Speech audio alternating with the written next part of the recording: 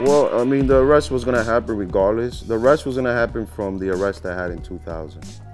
So the arrest with immigration was supposed to happen back in 2000 or 2001, two, three, four, five, all the way. Every year, I should have been detained by immigration. So I knew it was gonna happen. I knew it was looming in the air, and there was no way I could avoid it. I mean, it was just something that's it, it just you know once you here legally you owning a green card and you get arrested for anything criminal, you do have to face the immigration judge, and I knew it was gonna happen. Was I nervous about it? Not at all. I mean, so I had no control over it. 09 wasn't great. 2010 was horrible. You know, I had to do everything that was going on in my life.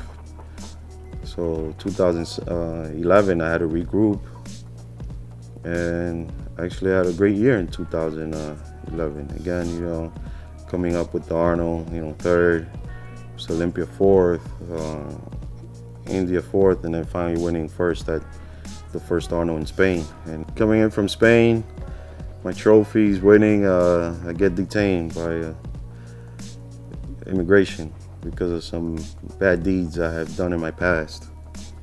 There was nothing I can do to change it. I wanted to see the judge outside, but that's not the way the system works.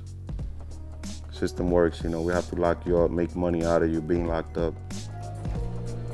Upon returning from his triumphant win of the European Arnold Classic in Spain, Victor Martinez was detained by immigration for a review of some legal problems from his past. There it is, you know, I'm coming from Spain, again, knowing that I could be detained, and I come in and I see the uh, officer, and he tells me, well, you know, I'm gonna have to detain you, and you know, I told you this was coming. I said, well, I knew it, so that's why pretty much had certain things paid for already, certain bills paid, and you just deal with it. I dealt with it. I mean, there's nothing you can do, you know, kicking and screaming, there's nothing you can do about it. You know. My lawyer was already hired, and you're just now waiting for your case to kind of, you know, come and go.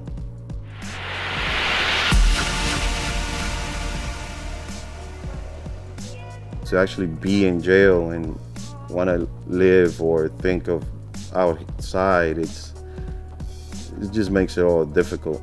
It makes it harder. It makes every day go by not that simple. You know, so I definitely had to shut down.